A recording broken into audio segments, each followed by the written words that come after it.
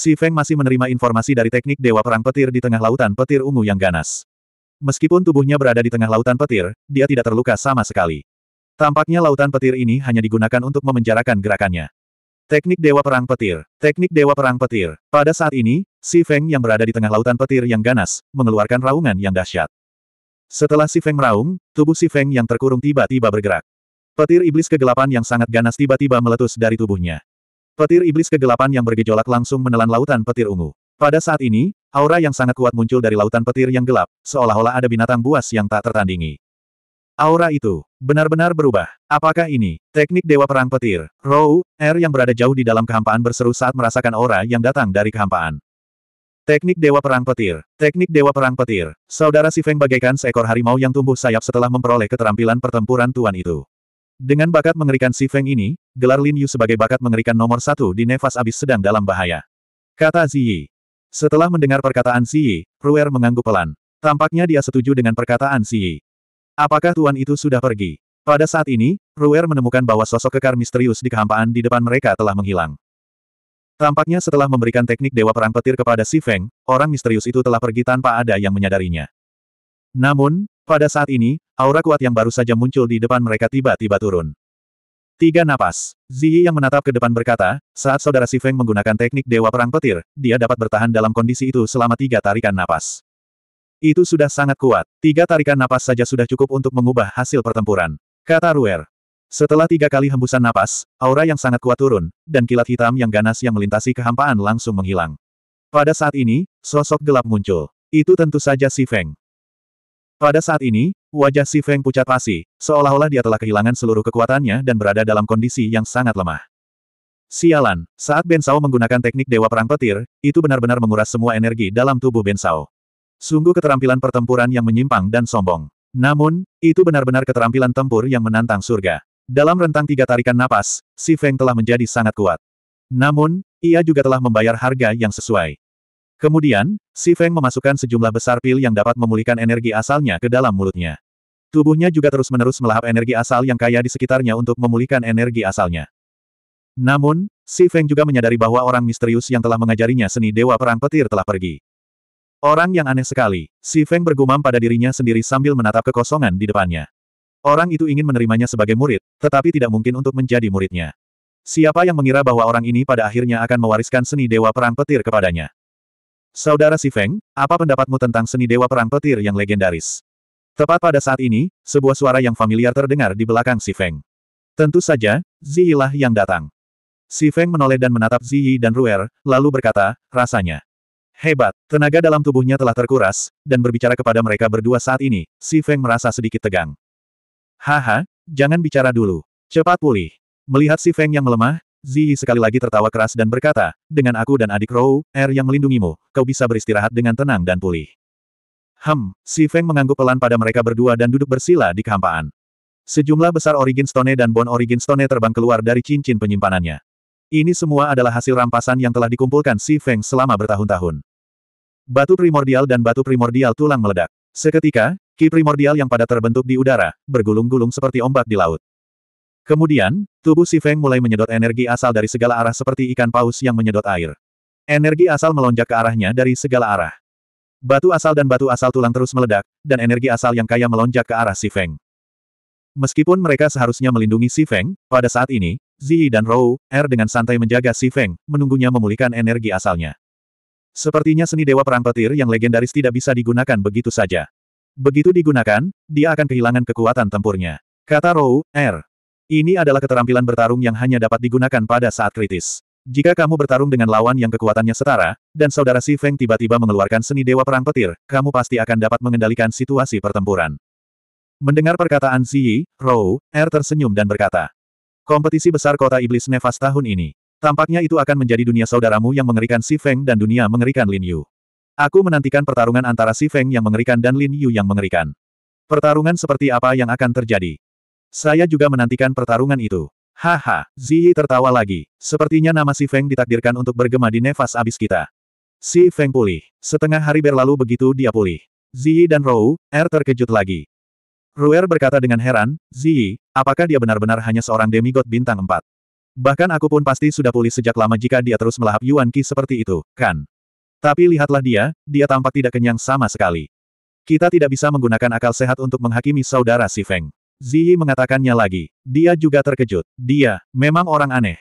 Pada akhirnya, setengah hari berlalu, sementara Ziyi dan Ruer masih terkejut, si Feng akhirnya selesai melahap sisa-sisa Yuan Qi yang tak terbatas di area tersebut. Dia akhirnya membuka matanya perlahan dan mengeluarkan seteguk udara keruh. Dia menatap Ziyi dan Ruer, yang telah menunggunya. Si Feng berkata, aku sudah membuatmu menunggu lama. Penantian ini memang sudah cukup lama. Mendengar perkataan si Feng, Ziyi tersenyum padanya dan berkata, Nak, Teknik kultivasi macam apa yang sedang kamu kembangkan? Kau benar-benar menghabiskan begitu banyak Yuan Qi untuk memberimu makan. Berdasarkan jumlah Yuan Qi yang kau lahap, aku rasa kau bahkan bisa memberi makan seorang demigod bintang tujuh sampai dia kenyang, kata Ruer. Ben Sao hanya memiliki dantian yang aneh. Si Feng mengatakan yang sebenarnya sambil bercanda. Memang, itu semua gara-gara dantiannya yang aneh. Kalau tidak, dengan bakat si Feng yang menantang surga, dia tidak akan menjadi hanya seorang demigod bintang empat. 1382 karena si Feng sudah pulih ke kondisi puncaknya, kelompok si Feng yang beranggotakan tiga orang bergegas dalam perjalanan mereka menuju kota Iblis Nefas. Pada saat ini, si Feng bertanya kepada Ziyi dan Ruer, kalian berdua tampaknya tahu banyak tentang seni Dewa Perang Petir. Mungkinkah kalian tahu identitas orang itu? Orang misterius itu sangat kuat. Auranya tidak lebih lemah dari Han Wei, seorang ahli demigod bintang sembilan. Bahkan, si Feng merasa bahwa dia bahkan lebih kuat dari Han Wei. Orang seperti itu pastilah terkenal di Nefas Abis. Seni Dewa Perang Petir adalah salah satu keterampilan ilahi paling terkenal di Jurang Nefas. Semua orang ingin mengembangkannya, Ziyi berkata, dan orang itu bahkan lebih terkenal di Jurang Nefas. Pada saat ini, Ruer juga berkata, bahkan jika kamu baru saja tiba di Jurang Nefas, kamu pasti pernah mendengar tentang sepuluh Jenderal Iblis yang hebat, kan? Sepuluh Jenderal Iblis yang hebat. Aku pernah mendengarnya. Si Feng mengangguk dan berkata. Dalam perjalanan ke sini, dia mendengar dari Wo Yu yang kemudian berkata, selain tiga Master Iblis Nefas, sepuluh orang terkuat di Jurang Nefas. Mereka mengendalikan sepuluh wilayah besar di Nefas Abis. Mungkinkah orang itu salah satu dari sepuluh jenderal iblis yang hebat? Benar sekali, kata Ruer. Orang ini adalah salah satu dari sepuluh jenderal iblis agung, Tuan Simu. Wilayah tempat kita berada sekarang berada di bawah kendalinya. Sepuluh jenderal iblis yang hebat. Mendengar perkenalan Ruer, Si Feng berbisik pelan. Dia tidak menyangka bahwa jenderal iblis yang begitu terkenal akan datang mencarinya begitu dia memasuki jurang nefas. Tetapi pada akhirnya, Si Feng masih tidak dapat memahami mengapa orang itu mewariskan seni perang Dewa Petir kepadanya. Seni perang Dewa Petir adalah keterampilan bertempur yang tiada taraf. Dan hal itu telah diwariskan kepadanya dengan begitu mudahnya. Kali ini, dia benar-benar mendapat keuntungan besar. Dengan kehebatan bertarungnya dan seni rahasia Dewa Perang Petir, tidak akan menjadi masalah baginya untuk masuk dalam posisi sepuluh besar di jurang nefas. Aku ingin tahu apakah kekuatan tempur Ben Sao dan keterampilan tempurnya ini akan mampu melawan Lin Yu. Pada saat ini, Ziyi berkata kepada Si Feng, sekarang kakak Si Feng memiliki seni dewa perang petir, bukan tidak mungkin baginya untuk meraih juara pertama dalam kompetisi. Hanya saja aku bertanya-tanya seberapa kuat Lin Yu yang kalian bicarakan ini. Tanya Si Feng. Lin Yu sangat, sangat kuat. Monster nomor satu di Nefas Abis, jawab Ruer saat mendengar seruan Si Feng. Setelah itu, dia berkata, mungkin jawaban saudara Ziyi lebih cocok untukmu. Menurut rumor, dia bertarung dengan jenius yang mengerikan itu, Lin Yu, dan menurut rumor, pertempuran itu sangat sengit sampai-sampai matahari dan bulan pun redup. Setelah suara Ruer mereda, wajah Ziyi yang tadinya tersenyum perlahan berubah menjadi sangat serius. Dia tampak seperti sedang mengenang, lalu senyum pahit muncul di wajahnya. Rumor hanyalah rumor. Pertarungan itu tidak sehebat yang terlihat. Bagaimana pertempuran itu? Tanya si Feng. Aku kalah telak. Kata Ziyi, tiga tahun lalu, kemampuan bertarungku mencapai alam demigod bintang lima. Dalam pertarungan dengan Lin Yu, dia mengalahkanku hanya dalam tiga gerakan. Hanya tiga jurus. Si Feng terkejut. Tiga tahun lalu, dia mampu mengalahkan Dewa Bintang Lima dengan tiga jurus. Kalau begitu, kekuatannya sudah sampai pada ranah mana? Sulit membayangkan prestasinya saat ini. Dia benar-benar monster. Ziyi berkata, lalu mengingatkan Si Feng, jika kamu benar-benar memiliki kesempatan untuk melawannya di masa depan, kamu pasti tidak boleh meremehkan monster ini. Mendengar kata-kata serius Ziyi, Si Feng perlahan tersenyum. Jika aku benar-benar memiliki kesempatan untuk bertarung dengan seorang jenius seperti itu, aku sangat menantikannya. Kota Iblis Jahat, Lin Yu. Hahaha. Pada saat ini, semangat juang bangkit dari tubuh Si Feng. Ini adalah semangat juang yang sangat ia dambakan. Dia, Si Feng, seorang demigod bintang 4, ingin melawan monster legendaris Lin Yu. Jika hal ini sampai ke telinga orang lain, mereka pasti akan menganggapnya sebagai lelucon. Bagaimana mungkin seorang demigod bintang 4 memenuhi syarat untuk melawan monster Lin Yu? Namun, Ziyi dan Ruer, yang tahu bahwa dia adalah monster, sama sekali tidak merasa aneh. Mereka juga merasakan niat bertarung yang terpancar dari tubuh Si Feng saat ini, dan mereka juga mulai menantikan pertempuran itu. Ziyi tersenyum dan berkata, Lin Yu, apakah kamu masih bisa bersikap sombong saat menghadapi monster lain yang tidak kalah denganmu kali ini? Bahkan sekarang, Ziyi masih ingat kejadian tiga tahun lalu. Orang itu hanya mengatakan satu hal kepadanya, tiga gerakan sudah cukup untuk mengalahkanmu. Saat itu, Ziyi mencibir seolah-olah dia telah mendengar lelucon paling lucu di dunia. Di Nevas Abis, tidak ada seorang pun di antara generasi muda yang pernah mengucapkan kata-kata sombong seperti itu kepadanya. Pada akhirnya, pada akhirnya, Lin Yu benar-benar hanya menggunakan tiga gerakan dalam pertempuran itu. Dia telah mengalahkan Ziyi hanya dalam tiga gerakan. Ziyi masih ingat seringai menghina di wajah Lin Yu saat itu. Seolah-olah dia tidak pantas bertarung dengannya sama sekali. Seringai itu muncul dalam pikiran Ziyi. Selama bertahun-tahun, Ziyi telah berkultivasi dengan tekun, dan dia selalu berpikir untuk membalas Lin Yu atas penghinaan yang dideritanya tiga tahun lalu. Tiga tahun lalu, Lin Yu mengalahkanku dalam tiga gerakan. Kali ini, kali ini, jika aku melawannya, aku, dot aku. Secara perlahan, tangan Ziyi mengepal erat, dan dia berkata dengan keras pada dirinya sendiri, Aku, Ziyi, tidak ingin kalah lagi. Kali ini, semangat juang yang kuat diam-diam muncul dalam tubuh Ziyi. Tidak seorang pun tahu kesulitan yang dialami Ziyi selama ini. Untuk menjadi lebih kuat, Ziyi hampir kehilangan nyawanya beberapa kali di tempat berbahaya. Dia telah berkultivasi dengan tekun sambil menunggu tibanya hari di mana dia akan bertarung dengan Lin Yu lagi. Pada saat ini, Si Feng dan Ruer juga merasakan semangat juang meningkat di tubuh Ziyi. Untuk sesaat, mereka bertiga tidak mengatakan apa-apa dan terus bergegas menuju kota iblis Nefas. Beberapa hari kemudian, hanya tersisa dua hari hingga kompetisi tiga tahun di Nefas Devil City. Lusa akan menjadi kompetisi tiga tahunan yang diselenggarakan oleh tiga Master Iblis Jahat.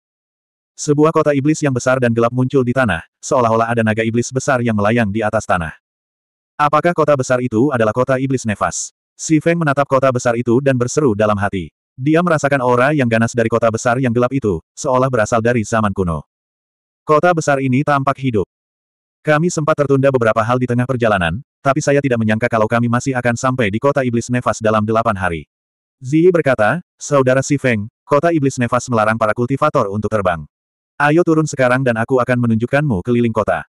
Baiklah, Si Feng mengangguk dan setuju. Setelah itu, Si Feng, Si Feng, dan Huang Xiaolong melesat menuju gerbang kota Iblis Nefas. Karena Si Feng sudah pulih ke kondisi puncaknya, kelompok Si Feng yang beranggotakan tiga orang bergegas dalam perjalanan mereka menuju kota Iblis Nefas.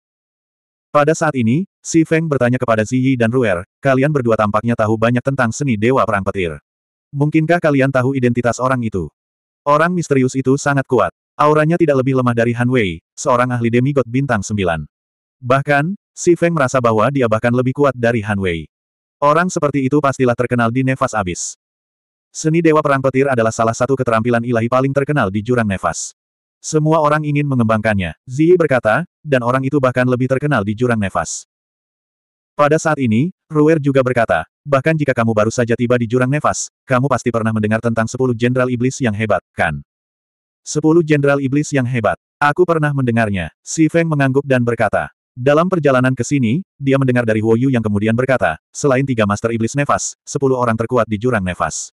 Mereka mengendalikan sepuluh wilayah besar di Nefas Abis. Mungkinkah orang itu salah satu dari sepuluh Jenderal Iblis yang hebat? Benar sekali, kata Ruer. Orang ini adalah salah satu dari sepuluh Jenderal Iblis Agung, Tuan Simu. Wilayah tempat kita berada sekarang berada di bawah kendalinya. Sepuluh Jenderal Iblis yang hebat. Mendengar perkenalan Ruer, Si Feng berbisik pelan. Dia tidak menyangka bahwa Jenderal Iblis yang begitu terkenal akan datang mencarinya begitu dia memasuki jurang nefas. Tetapi pada akhirnya, Si Feng masih tidak dapat memahami mengapa orang itu mewariskan seni perang Dewa Petir kepadanya. Seni perang Dewa Petir adalah keterampilan bertempur yang tiada taraf. Dan hal itu telah diwariskan kepadanya dengan begitu mudahnya. Kali ini, dia benar-benar mendapat keuntungan besar. Dengan kehebatan bertarungnya dan seni rahasia Dewa Perang Petir, tidak akan menjadi masalah baginya untuk masuk dalam posisi sepuluh besar di jurang nefas. Aku ingin tahu apakah kekuatan tempur Ben Sao dan keterampilan tempurnya ini akan mampu melawan Lin Yu. Pada saat ini, Ziyi berkata kepada Si Feng, sekarang kakak Si Feng memiliki seni dewa perang petir, bukan tidak mungkin baginya untuk meraih juara pertama dalam kompetisi.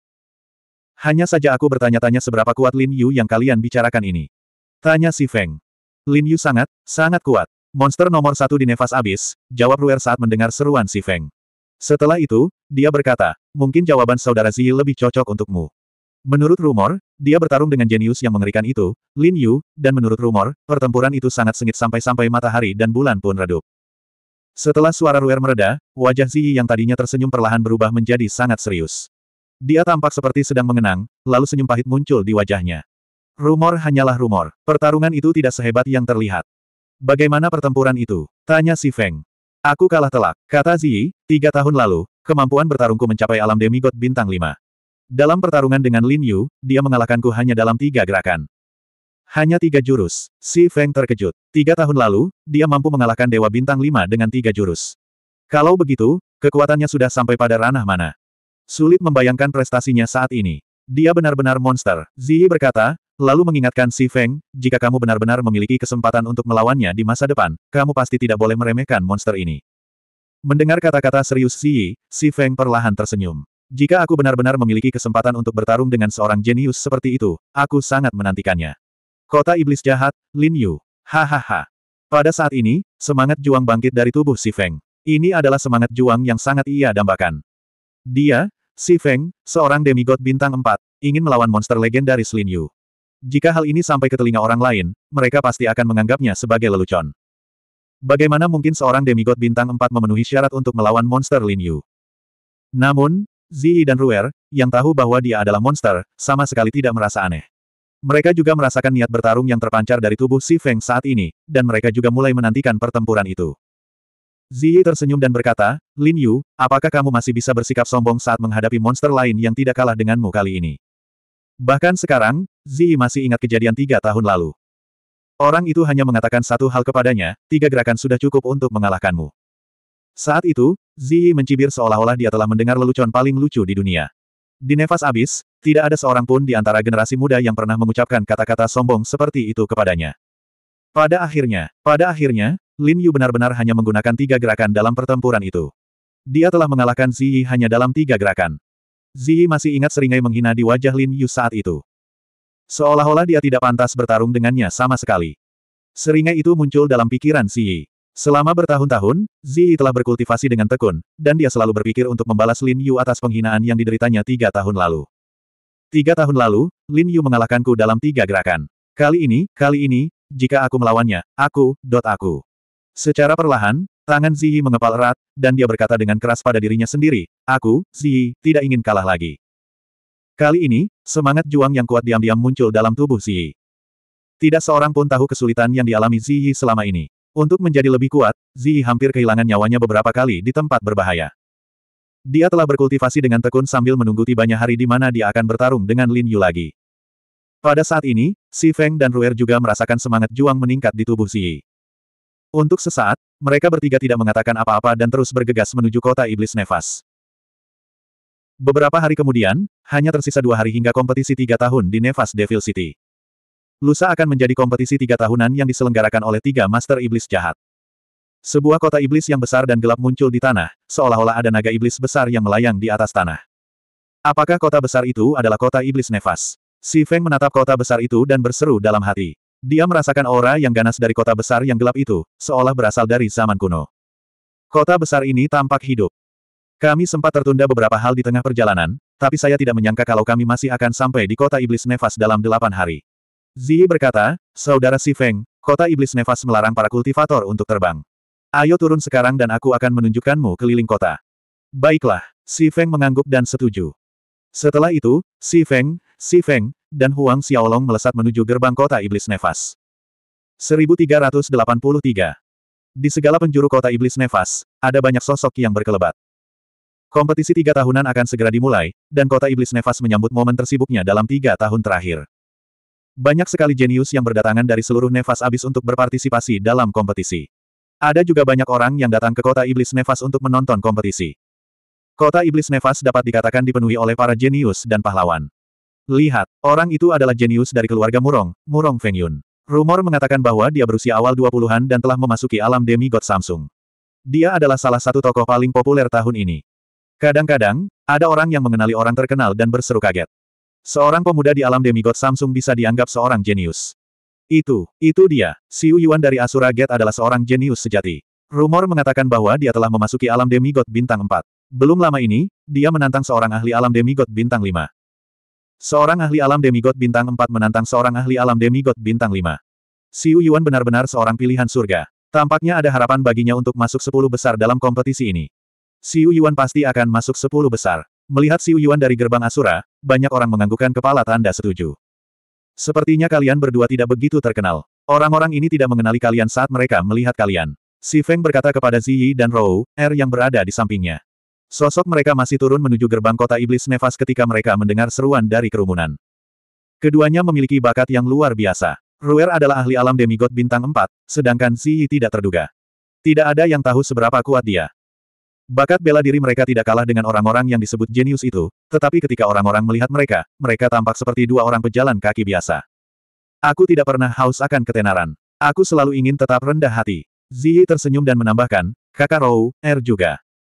Namun, setelah mendengar kata-kata Ziyi, Rou, Er tersenyum dan berkata dengan jujur, aku selalu ingin menjadi terkenal, tetapi aku tidak pernah punya kesempatan. Mendengar perkataan Ruer, Ziyi menatapnya dan berkata, kalau begitu kali ini, kamu pasti akan memiliki kesempatan untuk menjadi terkenal. Semoga saja keberuntunganku tidak buruk dan aku akan bertemu monster sepertimu sejak awal. Kata Rou, R. Dalam sebuah kompetisi, dalam pertempuran yang menentukan, kadang-kadang keberuntungan juga sangat penting. Tak lama kemudian, mereka bertiga tiba di pintu masuk kota Iblis Nefas. Kota iblis Nefas bagaikan seekor naga iblis yang merangkak di tanah, dan pintu masuk kota itu bagaikan naga iblis yang membuka mulutnya, menelan semua yang ada di jalannya. Sekarang kompetisi akbar akan segera dimulai, gerbang kota tentu saja dipenuhi orang, dan aliran panjang orang perlahan mengalir ke kota iblis Nefas. Di gerbang kota, ada sederet prajurit Mo jahat yang menjaga ketertiban. Pada saat ini, Si Feng dan dua orang lainnya mengikuti kerumunan itu memasuki benteng iblis berdosa. Di kota iblis Nefas, apa pun identitas seseorang, mereka harus mematuhi aturan. Jika tidak, hanya kematian yang menanti mereka. Sekitar dua jam kemudian, mereka bertiga memasuki kota iblis. Saat mereka berjalan melalui jalan-jalan yang ramai di kota iblis, Zi berkata kepada Si Feng, jangan khawatir. Tempat paling misterius di kota iblis Nefas adalah alun-alun naga jatuh. Konon katanya, lapangan naga jatuh merupakan tempat jatuhnya naga iblis kuno di zaman dahulu. Selama ada prajurit yang berdiri di lapangan naga jatuh, jika beruntung, dia akan merasakan duka atas jatuhnya naga iblis. Oh, si Feng berseru kaget. Sejak naga iblis kuno jatuh, dia masih bisa merasakan kesedihan naga iblis kuno. Apakah itu misterius? Memang misterius sekali. Zi mengangguk dan berkata, aku pernah ke lapangan naga jatuh sekali dan merasakannya sendiri. Saat itu, pemahamanku baru saja mencapai titik buntu. Akhirnya, aku merasakan kesedihan karena jatuhnya naga iblis dan berhasil menerobosnya. Oh, Bukankah tempat misterius seperti itu adalah tempat yang penuh harta karun? Tanya si Feng. Saya hanya mengatakan bahwa jika Anda beruntung, Anda akan dapat merasakannya. Selama bertahun-tahun, ada banyak kultivator yang beruntung. Banyak kultivator yang datang ke Valen Dragon Square karena reputasinya, tetapi mereka tidak merasakan apa pun. Kata Ziyi. Kemudian, Ziyi menambahkan, lagi pula, setelah aku menerobos waktu itu, ketika aku memasuki Valen Dragon Square untuk kedua kalinya, aku tidak bisa merasakan apa pun. Begitulah yang terjadi sejak saat itu. Mendengar perkataan Ziyi, Ruer berkata, aku pernah ke lapangan naga jatuh sebelumnya. Sebenarnya, aku sudah pernah ke sini lebih dari sekali. Pada akhirnya, aku tidak merasakan apa pun. Awalnya, aku mengira bahwa legenda kesedihan naga iblis hanyalah kebohongan. Aku tidak menyangka kalau saudara Ziyi, orang aneh sepertimu, bisa merasakannya. Ziyi berkata, kalau begitu, mari kita pergi ke lapangan naga jatuh sekarang. Mungkin kali ini, kita bertiga cukup beruntung untuk merasakan kesedihan atas jatuhnya naga iblis. Jika aku bisa merasakannya lagi dan mengalami perasaan itu lagi, pemahamanku terhadap martial Dao pasti akan melangkah lebih maju. Karena kita berada di kota iblis jahat dan ada tempat yang misterius, mari kita lihat dan coba keberuntungan kita. Bahkan jika kita tidak menemukan apa pun, kita tidak akan kehilangan apa pun, kata si Feng. Ya, benar, Ziyi mengangguk. Kemudian, mereka bertiga mengikuti orang banyak itu menuju ke Valen Dragon Square yang legendaris. Saudara Si Feng, itu adalah lapangan naga jatuh. Di tengah kerumunan, Zi menunjuk ke kejauhan dan berkata kepada Si Feng. Ada patung naga iblis kegelapan yang besar, berdiri di antara langit dan bumi. Pada saat ini, mata Si Feng tertuju pada patung naga iblis. Zi memperkenalkannya kepada Si Feng, konon, patung naga iblis itu dibangun oleh Master Iblis ketiga. Konon, meskipun naga iblis itu sudah mati, jiwa iblisnya tidak akan hilang. Meskipun naga iblis sudah mati, jiwa iblisnya tidak akan hilang. Si Feng menggumamkan kata-kata ini dengan pelan. Ia berpikir dalam hati, apakah ini berarti bahwa meskipun naga iblis kuno telah jatuh di sini, jiwanya belum hilang. Jika itu benar-benar jiwa naga iblis kuno, bahkan jika ia telah kehilangan tubuh naganya, ia pasti sangat kuat. Pada saat ini, arus orang-orang yang diikuti Si Feng dan dua orang lainnya, yang awalnya mengalir sangat lambat, telah berhenti total. Ziyi tersenyum dan berkata kepada Si Feng dan Ruer, kakak, ayo pergi. Saudara Si Feng, Saudara Rou, Er, tampaknya sebagian besar orang di kota iblis jahat datang ke sini untuk mencoba peruntungan mereka. Valen Square tidak dapat lagi menampung orang untuk saat ini. Sepertinya kita harus menunggu beberapa saat. Kita tunggu saja. Lagi pula, kita tidak perlu terburu-buru lagi, jawab Ruer. 1384. Naga, Dewa Sejati Kuno. Dewa Agung Kuno. Ada legenda tentang Dewa Naga Kuno di benua Tianheng dan benua Gurun. Di benua Tianheng, ada daerah terlarang yang disebut Tanah Naga Jatuh Kuno di wilayah selatan. Di benua Wastelen, ada alun-alun naga jatuh di kota iblis jahat. Keduanya dikabarkan sebagai tempat jatuhnya naga sejati kuno. Mendesah. Mendesah. Mendesah. Mendesah. Mendesah. Desahan terdengar di Valen Dragon Square. Desahan terdengar satu demi satu. Tampaknya banyak orang yang memasuki Valen Dragon Square tidak merasakan kesedihan dari Valen Dragon yang legendaris. Mereka menghela nafas sedih dan meninggalkan Valen Dragon Square dengan kekecewaan. Setelah banyak orang pergi, semakin banyak orang yang mengambil tempat. Kerumunan Si Feng dan dua orang lainnya yang awalnya tidak bergerak mulai bergerak sedikit. Kemudian, mereka bertiga mulai berjalan maju dengan sangat lambat. Satu langkah dan satu pemberhentian. Dengan kecepatan seperti ini, akan butuh waktu empat jam lagi sebelum tiba giliran kita untuk memasuki lapangan naga jatuh. Merasakan arus orang, wajah pucat Ruer menampakkan senyum pahit saat dia berbicara kepada Si Feng dan Si Yi. Jadi, Si Feng dan dua orang lainnya terus menunggu. Waktu berlalu dengan lambat, Si Feng dan dua orang lainnya melangkah maju perlahan.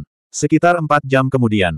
Akhirnya, waktunya hampir tiba. Row, Er akhirnya menghela napas lega dan tersenyum ketika melihat mereka akan segera dapat memasuki lapangan naga jatuh. Mendengar perkataan Ruer, Ziyi pun tersenyum dan berkata, Haha, saudari Ruer, maaf membuatmu menunggu. Benar, kata Row, Er, akhirnya sudah siap.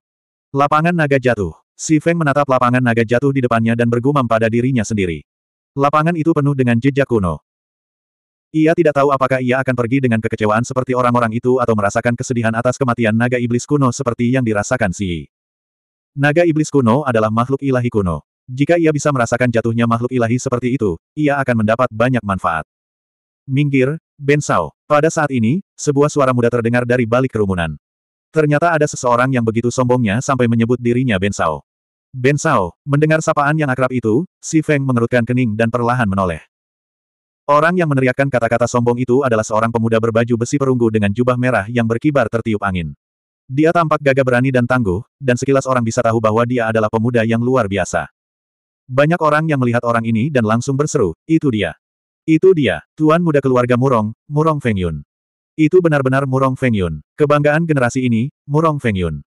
Murong Feng Yun, kamu tidak boleh menyinggung orang seperti itu. Si Feng dan yang lainnya telah melihat pemuda ini ketika mereka pertama kali tiba di kota Iblis Nefas. Dia adalah pemuda yang dikenal sebagai kebanggaan surgawi, Murong Feng Yun dari keluarga Murong.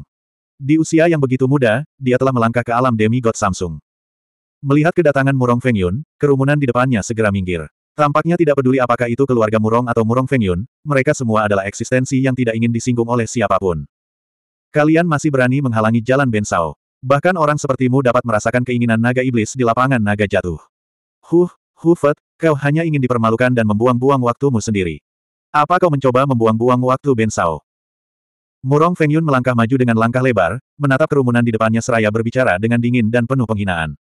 Seolah-olah orang-orang ini hanya membuang-buang waktu di Valen Dragon Square. Hanya dia, Murong Feng Yun, yang bisa merasakan keinginan naga iblis. Sepanjang perjalanan, tidak ada seorang pun yang berani menghalangi jalan Murong Feng Yun. Lambat laun, Murong Feng Yun semakin dekat dengan Si Feng dan yang lainnya. Orang ini terlalu sombong, bukan? Dia hanya seorang seniman bela diri alam demigod Samsung. Melihat ke arah Murong Feng Yun, Ruer berkata dengan dingin. Wajah pucatnya dipenuhi dengan rasa jijik. Dia adalah Samsung demigod di usia yang masih sangat muda. Dia memang jenius. Ziyi tertawa. Pada saat ini, bahkan orang-orang di sekitar Si Feng dan yang lainnya mulai menjauh. Kerumunan di kedua sisi alun-alun menjadi semakin ramai. Area di sekitar Si Feng dan yang lainnya tiba-tiba kosong. Hem, kalian bertiga, mengapa kamu tidak pindah saja? Pada saat ini, Murong Feng Yun yang tadinya mencibir, tiba-tiba menampakkan ekspresi dingin saat dia menatap Si Feng dan yang lainnya. Di matanya, dia tidak bisa melihat menembus ranah bela diri mereka bertiga. Namun, wajah Murong Feng Yun penuh dengan penghinaan. Dia mencibir dan berkata, kalian bertiga hanya memiliki harta rahasia yang mencegah orang lain melihat alam bela diri kalian. Jangan bilang kalian pikir kalian bisa menakut-nakuti Ben Sao dengan itu. Sungguh lelucon. Bagi Murong Feng Yun, mereka bertiga tampak seumuran dengannya. Bahkan ada seorang pria dan seorang wanita yang lebih muda beberapa tahun darinya. Bagaimana mungkin ketiga pemuda itu bisa berada di atasnya dalam hal ilmu bela diri? Bahkan jika tingkatan bela diri mereka lebih tinggi darinya, lalu kenapa? Dengan bakatnya, itu bukan sesuatu yang bisa dilakukan dalam satu atau dua hari. Dia adalah Murong Feng Yun. Minggir dari hadapan Ben Sao sekarang juga. Teriak Murong Feng Yun dingin. Dalam sekejap, aura kuat bangkit dari tubuh Murong Feng Yun dan menyerbu ke arah tiga orang di depannya. Siapakah ketiga orang ini? Mereka bahkan berani menghalangi Murong Feng Yun dari keluarga Murong. Apakah mereka tidak tahu bahwa mereka gila? Mereka mampu melakukan apa saja. Mereka sedang mencari kematian. Aku tidak tahu. Saya belum pernah melihat ketiga orang ini sebelumnya. Awalnya saya mengira mereka adalah ahli tersembunyi.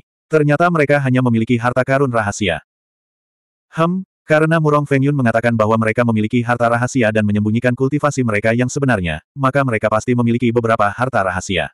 Namun, mereka tidak tahu apa yang baik untuk mereka. Mundurlah selangkah dan semuanya akan baik-baik saja. Namun, mereka bersikeras menghalangi jalan Murong Fengyun. Betapa bodohnya.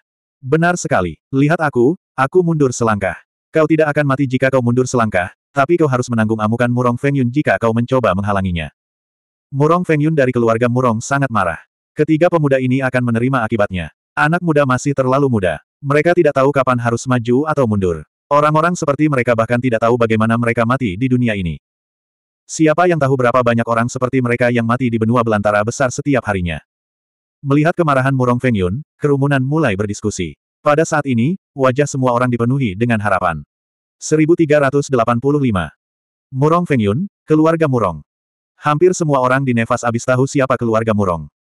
Di depan lapangan naga jatuh, ekspresi semua orang berubah ketika mereka mendengar keluarga Murong dan nama Murong Feng Yun. Mereka yang menghalangi jalannya dengan cepat mundur. Meskipun semua orang di sini adalah orang jahat di Nevas Abis. Namun, keluarga Murong terkenal kejam dan gila. Selama bertahun-tahun, tidak ada seorang pun yang menyinggung keluarga Murong yang berakhir baik. Pada saat ini, Murong Feng Yun tidak senang. Dia melepaskan aura yang kuat dengan ekspresi menghina di wajahnya. Auranya menyerbu ke arah Si Feng dan dua orang lainnya yang menghalanginya. Menurut pendapat Murong Feng Yun, auranya tidak lebih lemah dari seorang demigod bintang 4. Bahkan, auranya mungkin lebih kuat. Itu sudah cukup untuk menekan mereka bertiga. Huff. Pada saat ini, terdengar suara menghina dari depan. Dasar sampah. Beraninya dia menggunakan auranya untuk menekan orang lain. Dia mencari kematian. Meskipun suaranya tidak terlalu keras, namun suaranya sampai ke telinga para penonton. Seketika, terdengar lagi seruan. Orang ini mengatakan bahwa Murong Feng Yun adalah sampah. Dia mengatakan bahwa Murong Feng Yun sedang mencari kematian. Apakah? Apakah aku salah dengar? Kurasa tidak. Aku juga mendengarnya. Orang ini pasti pendatang baru di Nevas Abis. Dia mungkin tidak tahu siapa Murong Feng Yun. Dia mungkin tidak tahu keluarga gila itu, keluarga Murong. Ini akan menarik. Pada saat ini, menghadapi aura yang datang, Si Feng tidak bisa menahan diri untuk tidak berkata, bubar. Tiba-tiba, kata-kata itu seperti hukum. Aura kuat yang menyerbu dengan ganas langsung menghilang pada saat ini. Uh, pada saat yang sama, terdengar erangan teredam. Dengusan itu tentu saja datangnya dari Murong Feng Yun yang arogan. Ekspresi wajah Murong Feng Yun berubah drastis. Tubuhnya yang muda dan kuat tiba-tiba bergetar seolah-olah ada palu besar yang menghantam dadanya. Kemudian, dia terlempar. Boom, tubuh muda dan kuat Murong Feng Yun mendarat dengan keras di tanah. Ini, ini, ini, ini. Tiba-tiba gelombang seruan terdengar lagi. Lalu, seseorang berkata, mungkinkah? Anak-anak muda ini tidak punya harta rahasia, tapi wilayah kekuasaan mereka terlalu tinggi, sehingga kita tidak bisa melihat mereka. Mungkinkah ketiga jenius yang baru lahir itu benar-benar bersatu? Huff, memangnya kenapa kalau mereka jenius? Kali ini, mereka benar-benar menyinggung Murong Feng Yun. Menyinggung Murong Feng Yun sama saja dengan menyinggung seluruh keluarga Matman, keluarga Murong. Pada saat ini, Murong Feng Yun, yang telah terlempar, tiba-tiba menegakkan tubuh bagian atasnya. Wajahnya menjadi sangat ganas dan jahat, seperti anjing gila muda yang menjadi gila. Dia melotot ke arah Si Feng dan dua orang lainnya di depannya dan meraung marah. Kalian, kalian semua, beraninya kau melawan, tahukah Anda siapa Ben Sao? Si Feng mengabaikan Murong Feng Yun yang bertingkah seperti anjing gila. Sebaliknya, dia menoleh ke Ziyi dan bertanya, apa yang akan terjadi jika kita membunuh orang ini di sini? Ucapan si Feng diikuti oleh gelombang seruan. Orang ini, aku tidak salah dengar, kan? Orang ini benar-benar berkata, dia ingin membunuh Murong Feng Yun. Dan dia ingin membunuh Murong Feng Yun di kota iblis penuh dosa kita. Dia, dia tidak tahu peraturan kota iblis berdosa kita. Sepertinya orang ini baru saja tiba di kota iblis berdosa. Dia bahkan tidak tahu peraturan kota iblis penuh dosa kita. Tidak heran dia begitu tak kenal takut. Baiklah, Nasib orang ini sudah ditentukan. Menyinggung keluarga Murong tidak akan berakhir baik baginya. Si Feng dan dua orang lainnya tidak peduli dengan kegaduhan di sekitar mereka. Pada saat ini, Ziyi berbicara kepada Si Feng, membunuh dilarang di kota iblis berdosa. Jika kamu benar-benar ingin membunuh orang ini, kamu dapat membunuhnya jika kamu bertemu dengannya selama kompetisi besar. Si Feng mengangguk mendengar perkataan Ziyi dan berkata, lupakan saja. Aku akan membiarkan sampah ini pergi. Setelah si Feng selesai berbicara, dia melirik Murong Feng Yun, yang tidak jauh, dan mengabaikannya. Semua orang, termasuk Murong Feng Yun, dapat melihat bahwa pemuda itu sedang menatapnya dengan mata penuh penghinaan. Kemudian, si Feng dan dua orang lainnya berbalik dengan punggung menghadap ke arah Murong Feng Yun. Perhatian mereka sekali lagi terfokus pada Valen Dragon Square. Ekspresi jahat Murong Feng Yun tidak memudar saat dia melihat ke belakang ketiga orang itu. Dia mengepalkan tinjunya rat-rat dan berkata dengan keras, kalian, kalian, kalian semua, tunggu saja, Ben Sao. Tunggu saja, keluarga Murong dan aku, Murong Feng Yun, tidak bisa dianggap remeh. Hem, mendengar perkataan Murong Feng Yun, si Feng yang tadinya berbalik, langsung menoleh ke belakang dengan ekspresi dingin. Pada saat ini, telapak tangan putih muncul di depan Murong Feng Yun dan menamparkan Murong Feng Yun dengan kejam. Pa! Suara yang sangat tajam bergema di area itu. Jejak telapak tangan yang jelas tertinggal di wajah kejam Murong Feng Yun. Pemandangan yang mengerikan. Ini. Ini. Orang ini benar-benar menamparkan Murong Feng Yun lagi. Dan kali ini, dia menamparkan wajah Murong Feng Yun. Sepertinya tidak ada cara untuk menyelesaikan dendam ini. Keluarga Murong, Murong Feng Yun, sedang dipermalukan di jurang nefas. Ini benar-benar menantang surga. Ah, ah, ah, ah, ah. Pada saat ini, serangkaian suara gemuruh terdengar di area tersebut. Dia, Murong Feng Yun, ditampar di depan semua orang di kota iblis nefas. Bagaimana mungkin dia, Murong Feng Yun, menerima ini? Mati, itu, aku ingin kamu mati, mati. Murong Feng Yun meraung lagi dan lagi. Pada saat ini, sosok Murong Feng Yun tiba-tiba bergerak. Dia berdiri dan melesat maju. Dia menyerang Si Feng dan dua orang lainnya. Sebelum sosoknya mencapai mereka, suara gemuruh rendah bergema di area tersebut. Angin dan awan menjadi satu, pembantaian iblis yang tak berujung. Ah! Tiba-tiba, hembusan angin bertiup antara langit dan bumi, dan awan tebal bergulung memenuhi udara. Angin bertiup kencang dan awan melonjak. Angin dan awan menjadi satu, pembantaian iblis yang tak berujung. Rumor mengatakan bahwa ini adalah teknik bertarung yang diciptakan oleh Murong Feng Yun dan dinamai menurut namanya. Teknik ini sangat kuat dan merupakan jurus pembunuh terkuat milik Murong Feng Yun. Siapa yang mengira bahwa Murong Feng Yun akan menggunakan jurus mematikannya yang terkuat sejak awal? Sepertinya dia ingin membunuh mereka. 1386 Angin dan awan menjadi satu, pembunuhan iblis tanpa batas. Angin bertiup kencang dan awan melonjak. Dalam sekejap mata, angin kencang dan awan berubah menjadi hitam pekat. Niat jahat dan niat membunuh memenuhi langit. Pada saat ini, bahkan sosok Murong Feng Yun telah sepenuhnya menghilang ke dalam badai awan dan kabut hitam. Angin dan awan menjadi satu, pembunuhan iblis tanpa batas. Jurus ini seharusnya dapat membunuh seorang seniman bela diri alam demigod bintang empat biasa, kata Ziyi sambil menatap badai hitam yang bergulung-gulung. Kemudian, Ziyi menambahkan, Murong Feng Yun memang dapat dianggap sebagai seorang jenius karena mampu memahami jurus mematikan yang begitu kuat. Setelah mendengar perkataan Ziyi, Si Feng tersenyum meremehkan dan berkata, Huff, meskipun orang ini dapat memahami gerakan mematikan seperti itu, temperamennya kurang. Prestasinya dalam kehidupan ini terbatas. Saat dia mengatakan itu, ekspresi Si Feng masih acuh tak acuh saat dia menghadapi badai hitam yang melonjak. Dia berkata, Sampah, hari ini kamu punya niat untuk membunuh Ben Sao. Karena aturan kota iblis dosa, Ben Sao akan melumpuhkan tanganmu. Jika kita bertemu selama kompetisi besar, Ben Sao akan melakukannya. Membunuh. Anda. Akan. Membunuh. Anda. Begitu dia selesai bicara, Ki yang tak kasat mata melonjak keluar dari tubuh Si Feng dan menyerbu ke arah angin dan awan hitam yang tengah menyerbu ke arahnya. Kemudian, Ki yang tak terlihat keluar dari tubuh Si Feng dan berbenturan dengan badai hitam. Niat membunuh iblis yang melonjak dan badai hitam menghilang tanpa jejak pada saat ini. Sosok muda yang mengenakan baju besi perunggu muncul. Siapa lagi kalau bukan Murong Feng Yun? Pada saat ini, sosok Murong Feng Yun melayang di udara dan bergetar hebat, seolah-olah dia terus-menerus diserang oleh kekuatan tak terlihat. Ah, ah, ah, ah, ah. Gelombang jeritan kesakitan terdengar dari mulut Murong Feng Yun. Ketika jeritan itu berhenti, Murong Feng Yun pingsan. Kemudian, Murong Feng Yun yang pingsan jatuh ke tanah dan tergeletak tak bergerak seperti genangan lumpur.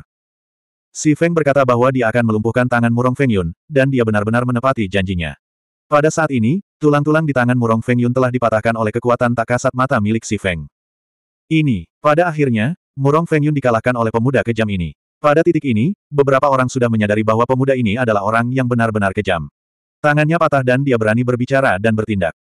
Sekalipun pemuda ini tidak mengetahui identitas Murong Feng Yun, dia pasti tahu bahwa latar belakang Murong Feng Yun sangat luar biasa. Namun, dia masih berhasil memberinya pelajaran demi pelajaran di mata Feng Yun. Apa ini kalau dia tidak kejam? Pembunuhan iblis, niat membunuh iblis. Jurus terkuat Murong Feng Yun dikabarkan mampu membunuh ahli alam demigod bintang 4. Siapakah yang akan membunuh Feng Yun dengan iblis? Siapakah demigod dari iblis-iblis-iblis? Kapankah keajaiban seperti itu muncul di nefas abis milikku? Mata. Pada saat ini, siapa pun yang memiliki mata jeli pasti sudah menyadari bahwa pemuda aneh ini bukanlah pemuda biasa. Kata-kata kejam pemuda itu kepada Murong Feng Yun bergema di hati setiap orang. Karena aturan kota dosa iblis, Ben Sao akan melumpuhkan tanganmu.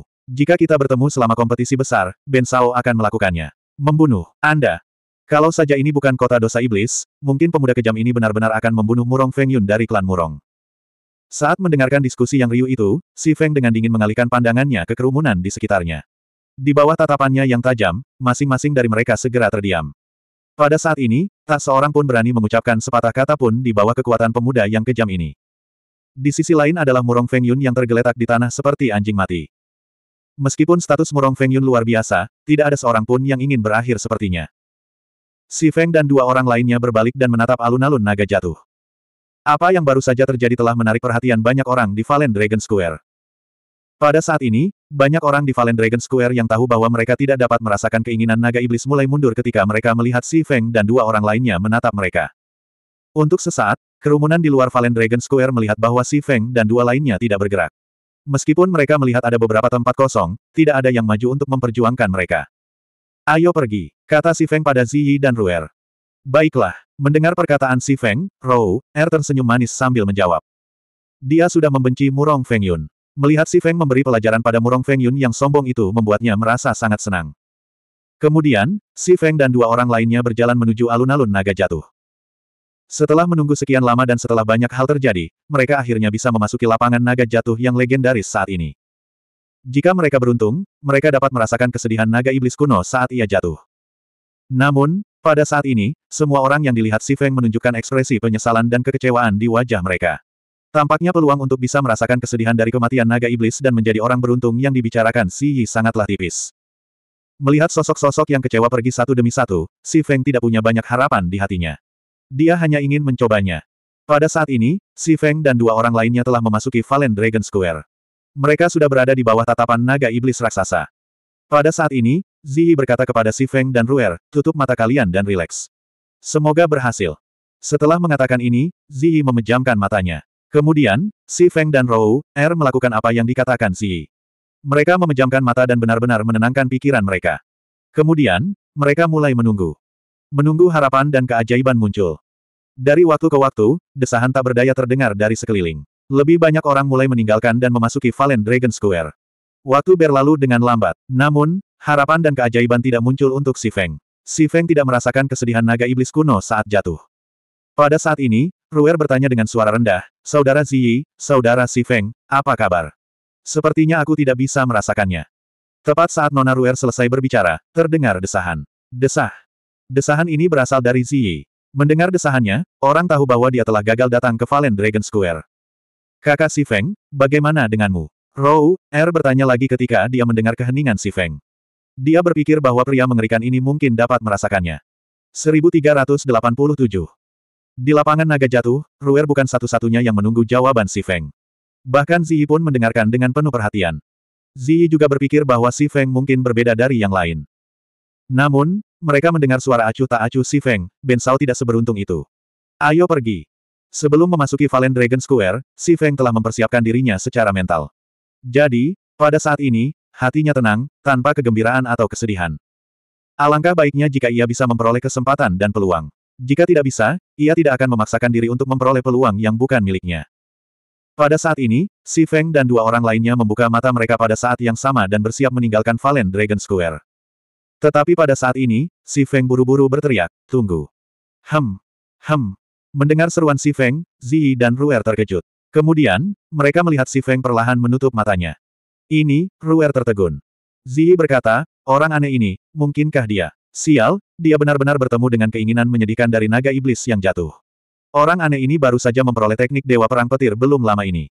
Bagaimana dia bisa menemukan semua hal baik? Mungkinkah orang aneh ini adalah putra surga yang legendaris? Mendengar perkataan Ziyi, Rou, Er tersenyum pahit dan berkata, orang aneh ini, aku bahkan tidak bisa menggambarkannya dengan kata-kata sekarang. Aku hanya merasa sangat lelah. Mengaum. Pada saat ini, suara samar auman naga bergema di benak Si Feng untuk waktu yang lama. Raungan naga ini penuh dengan amarah dan kesedihan, juga kengganan dan keteguhan hati.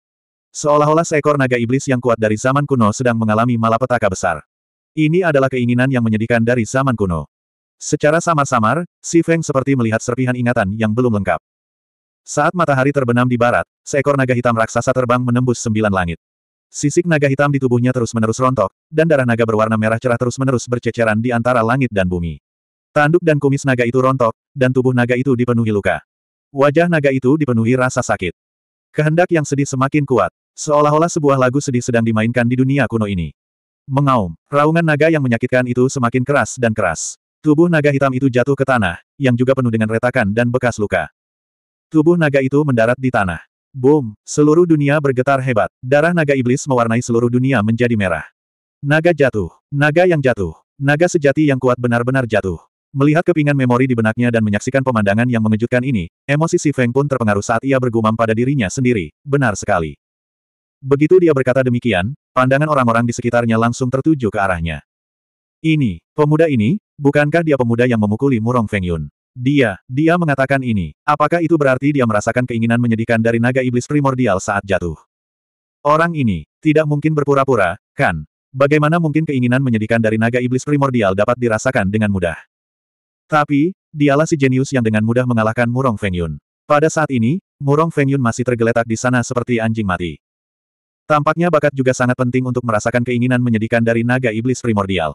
Rumor yang berkembang adalah bahwa iblis nomor satu di abis nefas kita, Lin Yu, juga telah merasakan keinginan menyedihkan dari naga iblis primordial. Menghadapi perbincangan di sekitarnya, Si Feng tidak punya waktu untuk mendengarkannya. Pikirannya benar-benar tenggelam dalam keinginan sedih yang tampaknya berasal dari zaman kuno. Perasaan ini sangat misterius. Hatinya pun dipenuhi duka. Dewa yang begitu kuat telah jatuh di depan matanya. Mengaum, samar-samar, auman naga itu terdengar lagi. Mengikuti auman ini, Si Feng ingin ikut mengaum bersamanya. Terlepas dari apa yang ada dalam pikirannya, semua yang ada di sekitarnya sepertinya tidak ada hubungannya dengan dirinya. Saudara Si Feng, tampaknya kau telah benar-benar mendalaminya. Merasakan kondisi Si Feng saat ini, Ziyi yang telah memasuki kondisi ini sebelumnya, berkata kepada Nona Rou, R.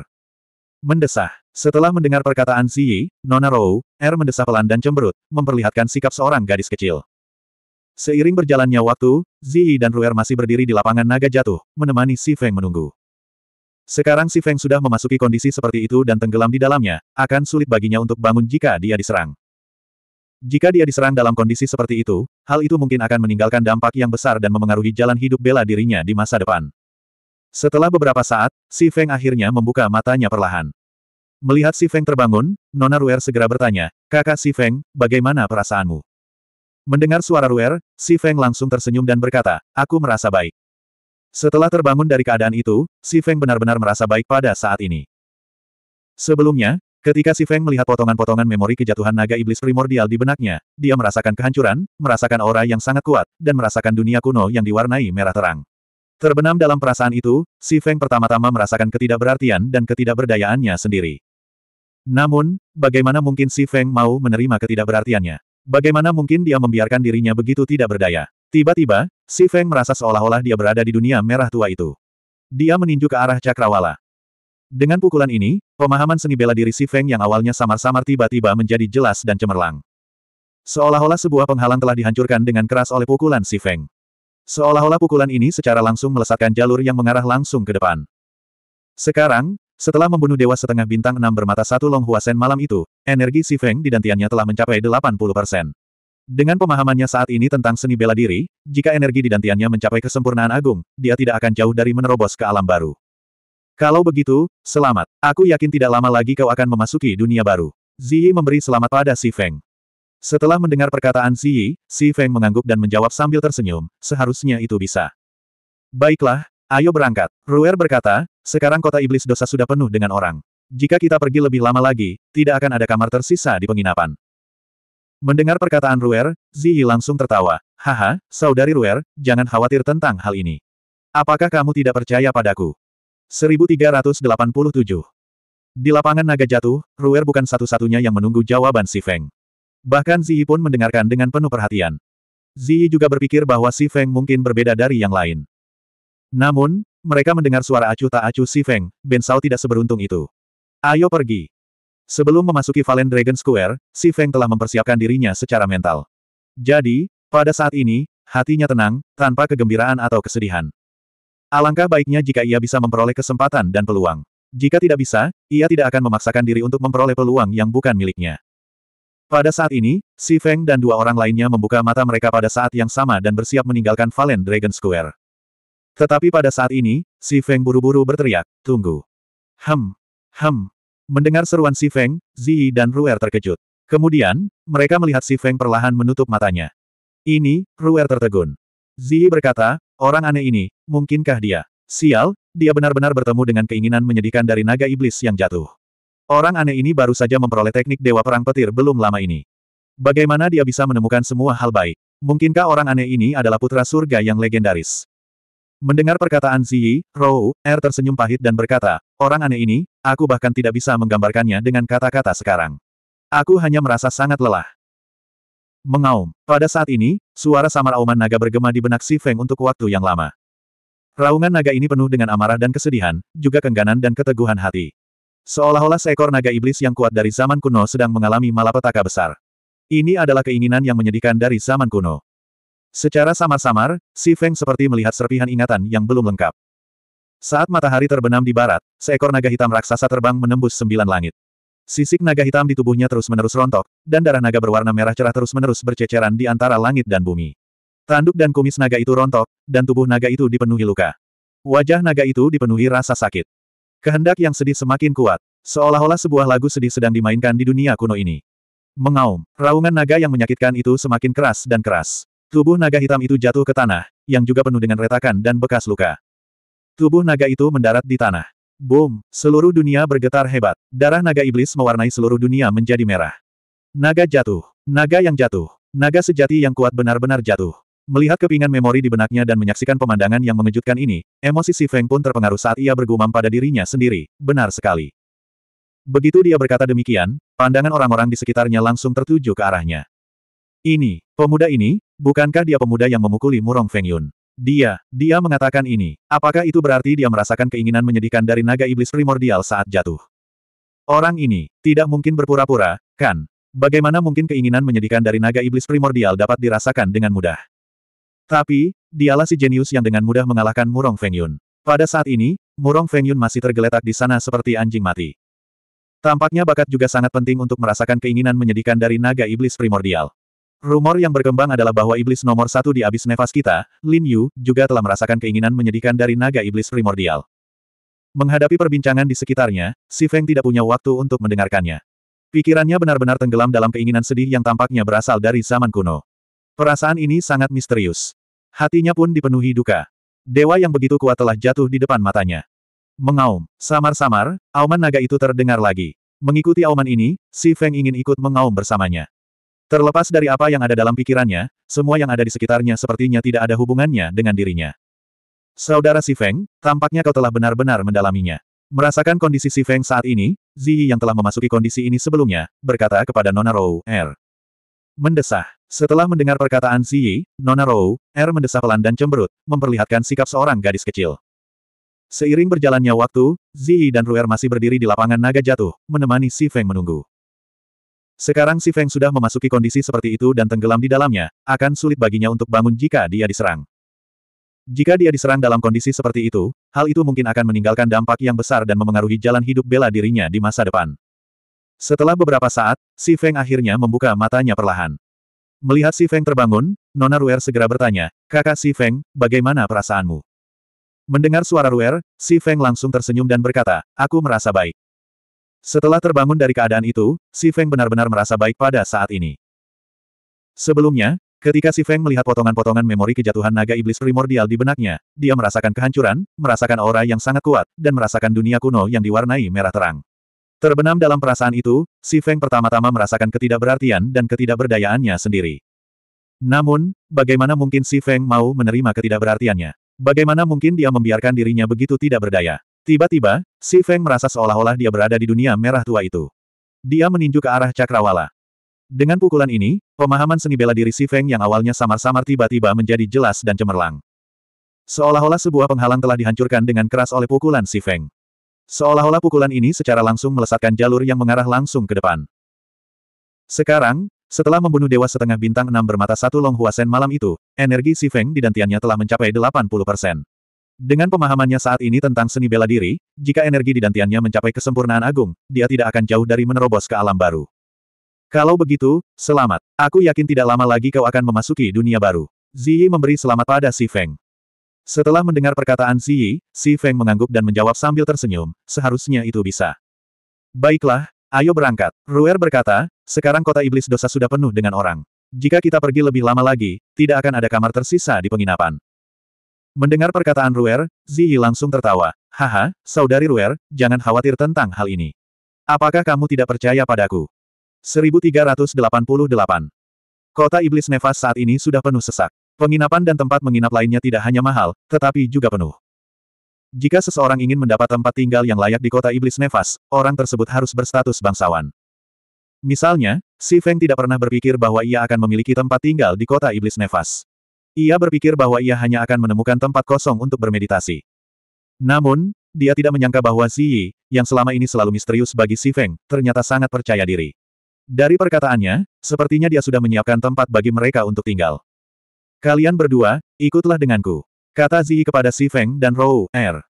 Kemudian, di bawah pimpinan Ziyi, mereka bertiga meninggalkan lapangan naga jatuh. Adapun Murong Feng Yun, yang masih tergeletak di tanah seperti anjing mati, mereka bahkan tidak repot-repot melihatnya. Mereka sudah pergi. Mereka sudah pergi, kata seseorang sambil melihat Si Feng dan dua orang lainnya pergi. Ya, mereka sudah pergi. Sebenarnya, jika mereka pergi begitu saja, apakah Murong Feng Yun akan bisa mengetahui identitas mereka saat dia bangun? Lagi pula, jumlah orangnya sangat banyak. Dia seharusnya bisa. Dengan kemampuan yang dimiliki keluarga Murong, ini seharusnya menjadi masalah kecil di jurang Nevas. Ya, dengan kemampuan yang dimiliki keluarga Murong, seharusnya hal itu mungkin. Aku ingin tahu bagaimana keadaan Murong Feng Yun sekarang. Kemudian, semua orang melihat sosok muda dan tegap yang tergeletak di tanah. Namun, mereka masih bisa merasakan aura Murong Feng Yun. Pada saat ini, Murong Feng Yun, yang terbaring tak bergerak di tanah, tiba-tiba membuka matanya. Dia memancarkan perasaan seperti binatang buas yang terbangun dari tidurnya. Wajah muda Murong Feng Yun tiba-tiba menjadi marah, ganas, dan terdistorsi. Dia tiba-tiba menegakkan tubuh bagian atasnya dan menatap ke langit. Ah, ah, ah, ah, ah. Pada saat ini, Murong Feng Yun bagaikan seekor singa yang sedang marah, mengaum ke arah langit. Raungannya menembus awan. Di bawah raungan Murong Feng Yun, langit dan bumi tiba-tiba bergetar hebat bagaikan air mendidih. Dalam sekejap mata, angin mulai bertiup dan awan mulai melonjak antara langit dan bumi. Apa? Aura yang sangat kuat. Merasakan perubahan besar di dunia, kerumunan berseru lagi. Murong Feng Yun ini, seperti orang yang benar-benar berbeda. Apa yang sedang terjadi? Kemudian, di bawah tatapan mata orang banyak, Cahaya putih tiba-tiba bersinar dari tubuh Murong Feng Yun. Ini adalah cahaya kemajuan. Ini, Murong Feng Yun benar-benar maju pada saat ini. Tampaknya penghinaan dan kemunduran sebelumnya tidak menghancurkan hati Murong Feng Yun. Sebaliknya, hal itu membangkitkan hatinya sebagai seorang ahli dan memungkinkan alam bela dirinya untuk maju. Murong Feng Yun, seperti yang diharapkan dari Murong Feng Yun. Meskipun dia kalah, dia tidak jatuh. Siapa yang tidak pernah gagal dalam hidup? Siapa yang tidak pernah mengalami kemunduran? Kegagalan dan kemunduran bukanlah sesuatu yang perlu ditakuti. Yang terpenting adalah keluar darinya. Murong Feng Yun telah melakukannya. Sepertinya ini adalah kesempatan bagi Murong Feng Yun. Meskipun ini adalah kesempatan, Murong Feng Yun pasti tidak akan membiarkan orang yang mempermalukan Murong Feng Yun pergi. Haha, hahaha, hahaha. Pada saat ini, lolongan Murong Feng Yun telah berhenti. Ekspresi ganas di wajahnya telah surut dan digantikan oleh tawa riang. Tampaknya Murong Feng Yun, yang telah berhasil maju, telah menjadi orang yang sama sekali berbeda. Bahkan temperamennya telah berubah drastis. Meski dipermalukan di depan orang banyak, dia tidak marah. Sebaliknya, dia tertawa. Ini aku, saya Murong Feng Yun dari keluarga Murong. Angin dan awan menjadi satu, kejahatan tak berujung. Kuantitas. Ketika kata kedua, kuantitas diucapkan, angin kencang dan awan menjadi lebih ganas. Kemudian, angin dan awan bergabung menjadi angin dan awan gelap. Pada saat ini, wajah orang banyak berubah drastis ketika mereka merasakan aura kuat yang menyelimuti area tersebut. Mereka menyadari bahwa Murong Feng Yun tidak hanya telah meningkatkan ranah bela dirinya, tetapi teknik bertarung terkuatnya juga telah meningkat. Murong Feng Yun memang seorang jenius yang tak tertandingi. Siapa pun yang menyinggungku, Murong Feng Yun, akan mati. Mati. Mati. Mati. Pada saat ini, tubuh Murong Feng Yun ditelan oleh angin dan awan gelap. Namun, suaranya bergema di area tersebut dan bertahan lama. Niat membunuh memenuhi udara. Mati. Si Feng dan dua orang lainnya yang sedang bergerak bersama orang banyak, tiba-tiba mendengar suara anak muda dari jauh. Hah, suara ini, bukankah suara orang itu? Rou, Er yang mendengar suara itu pun menoleh dan melihat ke arah alun-alun naga jatuh. Kemudian, dia berkata, eh, aura itu, sampah itu. Mungkinkah dia berhasil maju setelah saudara Si Feng memberinya pelajaran? Ruer juga melihat ke arah angin dan awan gelap di kejauhan. Dia bisa merasakan bahwa aura angin dan awan gelap telah berubah drastis. Abaikan saja, bahkan jika dia sudah maju, dia tetaplah sampah, kata Si Feng. Sekarang, dia memiliki kekuatan untuk melawan Dewa Bintang Tujuh. Dia memang memenuhi syarat untuk mengatakan itu. Mendengar perkataan Si Feng, Ruer tersenyum dan berkata, Bagimu, saudara Si Feng, memang begitulah adanya. Setelah itu, Ruer tidak mempedulikan keributan di belakangnya. Wajahnya yang pucat dan cantik itu menoleh sekali lagi, dan dia menatap Ziyi dan berkata, Saudara Ziyi, kau membawaku dan saudara Si Feng ke arah ini. Mungkinkah tempat tinggal kita? Haha, sebelum Ruer sempat menyelesaikan kalimatnya, Ziyi tiba-tiba tertawa terbahak-bahak. Kemudian dia berkata, Saudari Ruer, tebakanmu pasti benar. Tidak, tidak mungkin. Ruer terkejut saat mendengar kata-kata Ziyi. Kabarnya, orang biasa tidak bisa tinggal di tempat itu. Biasanya memang seperti itu. Tapi sekarang, tidak perlu lagi memikirkannya. Saudara Ziyi, metode apa yang kamu gunakan? Haha, Ziyi tertawa. Tentu saja aku punya cara. Ruer bertanya lagi, Saudara Ziyi, saya selalu penasaran. Siapakah Anda dan dari mana asal Anda? Bahkan Ruer tidak tahu identitas Yi. Mendengar perkataan Ruer, Si Feng menoleh dan menatap Yi, menunggu jawabannya. Si Feng selalu merasa bahwa latar belakang Yi misterius. 1399 Di kota iblis jahat, ada tempat misterius dan mulia yang disebut surga neraka bagi orang biasa. Tempat ini juga disebut neraka. Surga neraka. Dikatakan bahwa wanita-wanita di neraka semuanya seperti penyihir di neraka. Memikat dan menawan, itu cukup untuk memikat jiwa seseorang. Konon katanya makanan lezat dan anggur di surga neraka bisa membuat orang lupa keluar. Tentu saja, dikatakan bahwa selain keindahan dan anggur neraka, surga neraka juga memiliki segala macam kemewahan seperti dewa suci. Begitu seseorang memasuki surga neraka, dia akan tiba-tiba menjadi iblis atau dewa. Pada saat ini, di bawah pimpinan Si Yi, Si Feng dan Nona Rou, Er tiba di depan pintu sebuah bangunan hitam yang megah. Pada plakat di atas gerbang, ada empat kata hitam besar yang diukir dengan kaligrafi flamboyan, surga neraka. Ini benar-benar ada di sini. Alam abadi dunia bawah. Melihat bangunan megah dan papan nama itu, Nona Ruer berseru dalam hati. Kemudian dia menoleh dan menatap ke arah saudara Zi dengan tatapan seolah sedang melihat monster. Merasakan tatapan Ruer, Zi masih tersenyum tipis. Baru saja, Ruer telah bertanya kepadanya berkali-kali tentang identitasnya, tetapi dia sama sekali tidak menjawab pertanyaannya.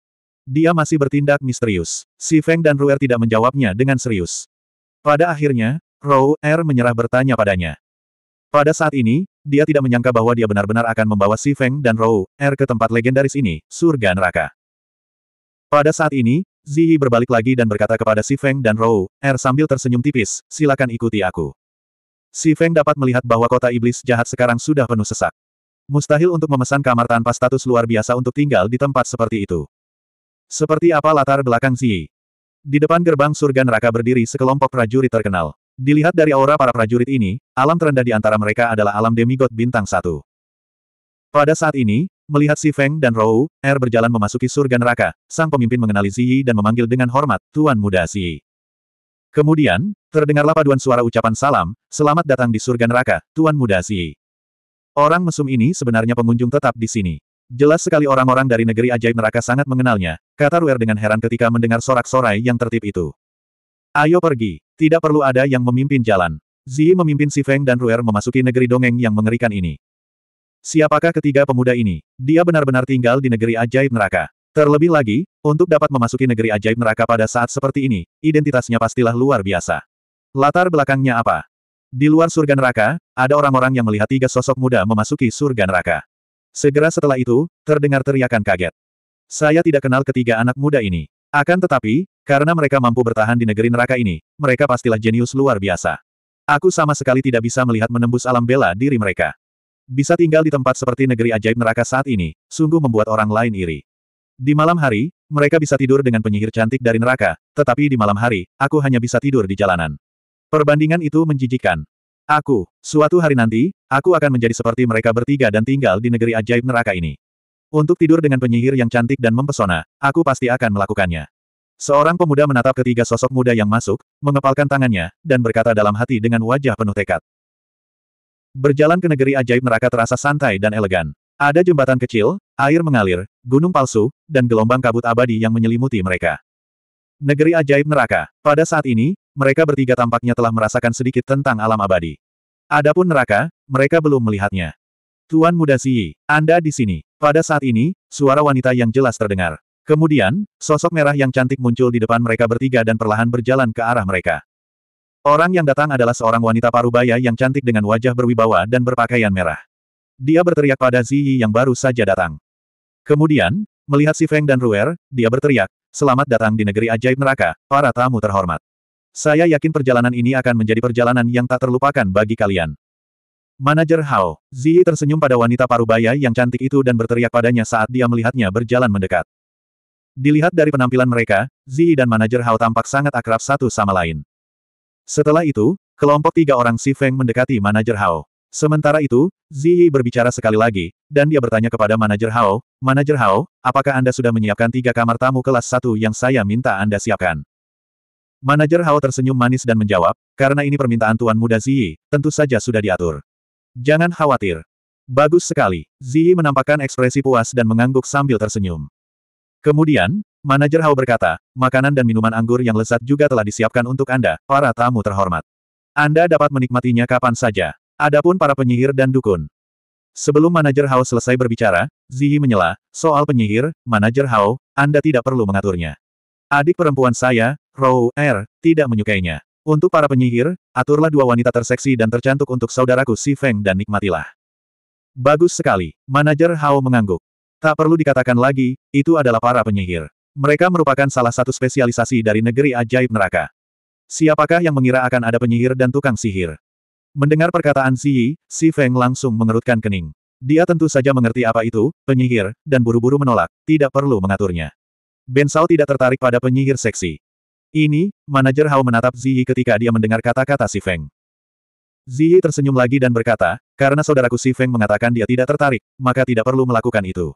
Hahaha, jika saudaraku si Feng ada keperluan, maka aku akan memberitahu manajer Hao untuk mengaturnya untukmu. Mem, bagus. Manajer Hao masih tersenyum ketika berkata, para penyihir di negeri ajaib neraka kita tidak pernah mengecewakan siapa pun. Akan sangat disayangkan jika kita kehilangan mereka. Haha, itu benar. Ziyi juga tertawa ketika mendengar kata-kata manajer Hao. Pada saat ini, Nona Ruer menatap Ziyi dengan tatapan aneh dan berkata, mungkinkah saudara Ziyi sering datang ke negeri ajaib neraka untuk menikmati para penyihir? Tapi memang seharusnya begitu. Kakak Ziyi tampaknya sering datang ke sini. Bagaimana mungkin kau bisa melewatkan para penyihir terkenal dari negeri ajaib neraka? Ini, Ziyi tertegun saat mendengar perkataan Nona Ruer, lalu berkata, Kakak Ruer, kamu salah paham. Aku bukan orang seperti itu. 1390 pada akhirnya, sang penyihir, sang penyihir, dan si Feng secara alami tidak membuat pengaturan apa pun. Di bawah bimbingan penjaga toko Hao, si Feng dan dua orang lainnya tiba di daerah yang menyerupai negeri dongeng. Di sini, kabut abadi menjadi semakin tebal, dan mereka benar-benar merasa semakin ilusi. Kabut abadi ini sebenarnya terbentuk dari ki vital langit dan bumi yang sangat padat. Hanya dengan menarik napas saja, seseorang akan merasa nyaman di sekujur tubuhnya. Jika orang biasa tinggal di sini, umur mereka akan diperpanjang dan mereka akan hidup hingga 100 tahun. Akhirnya, mereka berjalan melintasi sebuah jembatan kecil yang melengkung, mendengarkan suara aliran air yang jernih dan indah, dan memasuki sebuah paviliun yang tampaknya terbuat dari batu giok putih.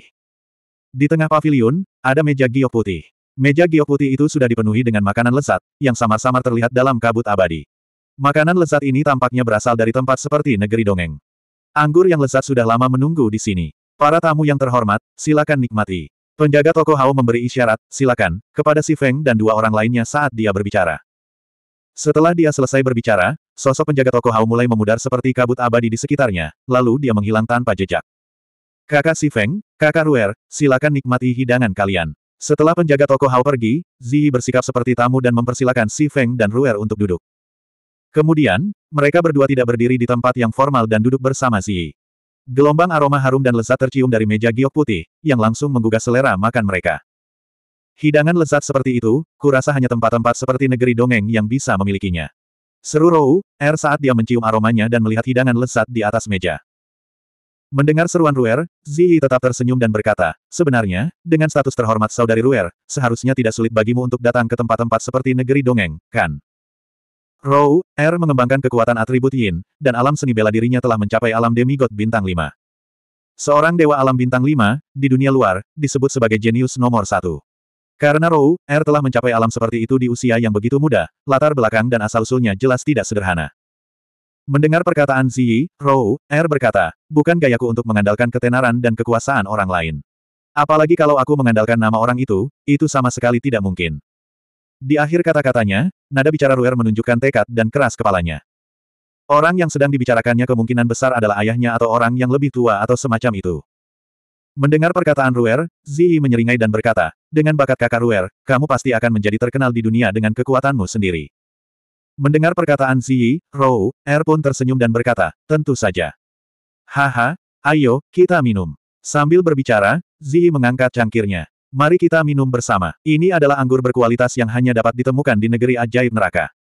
Gelas-gelas anggur yang diletakkan di depan mereka bertiga sudah terisi penuh. Setelah Ziyi mengangkat gelasnya, Si Feng dan Rou Er juga mengangkat gelas mereka. Lalu mereka bertiga dengan lembut mengetukkan gelas mereka. Dan Ruth. Anggur itu tidak hanya manis dan lezat, tetapi juga yang terbaik di dunia. Saat anggur itu memasuki perutnya, Si Feng segera merasakan bahwa anggur itu telah berubah menjadi Yuan Qi yang kaya yang dengan cepat mengalir ke dantiannya. Diseduh dengan bahan-bahan khusus. Haha, anggur yang enak, anggur yang enak. Anggur ini hanya bisa diminum di surga abadi neraka. Setelah anggur itu masuk ke perutnya, Zi tampak menikmati sisa rasanya sambil berbicara. Itu memang anggur yang enak. Surga neraka memang pantas menyandang namanya. Ruer mengangguk dan berkata jujur. Kemudian, Rou Er menoleh dan menatap Si Feng dengan wajahnya yang pucat dan cantik. Saudara Si Feng, karena orang aneh itu menolak memberitahu kita latar belakang dan identitasnya, mengapa kamu tidak memberitahu kami tentang identitasmu? Aku selalu penasaran dengan identitasmu. Dengan bakatmu, kau seharusnya menjadi putra suci dari tanah suci di dunia luar, kan?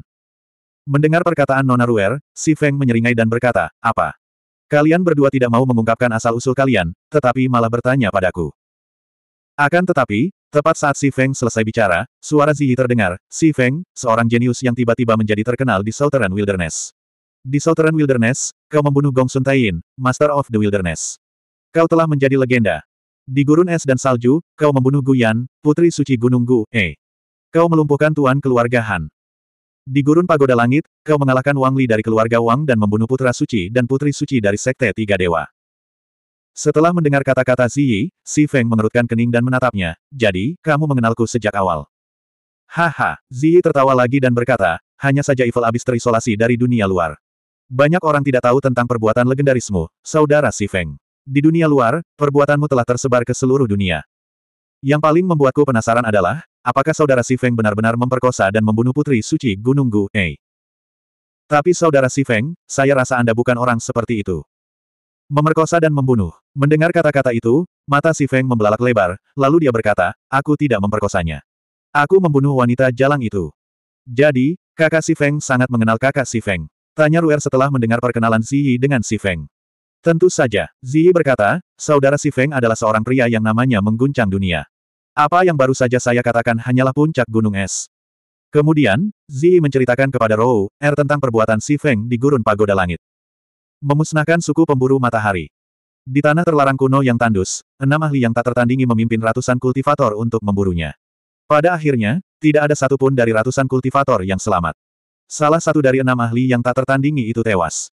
Salah satu pakar yang tak tertandingi telah meninggal. Wajah pucat Ruer dipenuhi dengan keterkejutan setelah mendengar perkenalan ini. Dia menatap Si Feng dan bertanya, Kakak Si Feng, bagaimana kamu melakukannya?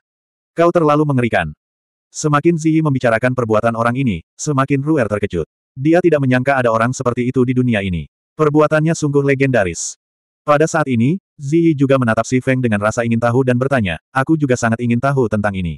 Apa yang terjadi di tanah terlarang kuno yang tandus? Mengenai hal itu, Si Feng mengecilkannya dan berkata, Tuan muda ini hanya memancing orang-orang ini ke tempat yang berbahaya, itu saja. Orang-orang ini bodoh. Meskipun dia mengatakannya dengan sangat sederhana dan ringan, Zi dan Ruer secara alami merasa bahwa masalah ini tidak sesederhana itu. Melihat Si Feng tidak menjelaskan lebih lanjut, Zi dan Rou, Er tidak bertanya lebih jauh. Saat ini, Ruer tiba-tiba memikirkan sesuatu dan berkata, Saudara Zi, Aku pernah mendengarmu berbicara tentang perbuatan legendaris saudara Si Feng, tetapi kamu masih belum menjawab pertanyaanku yang paling penting, kan? Kakak Si Feng, apa latar belakangnya?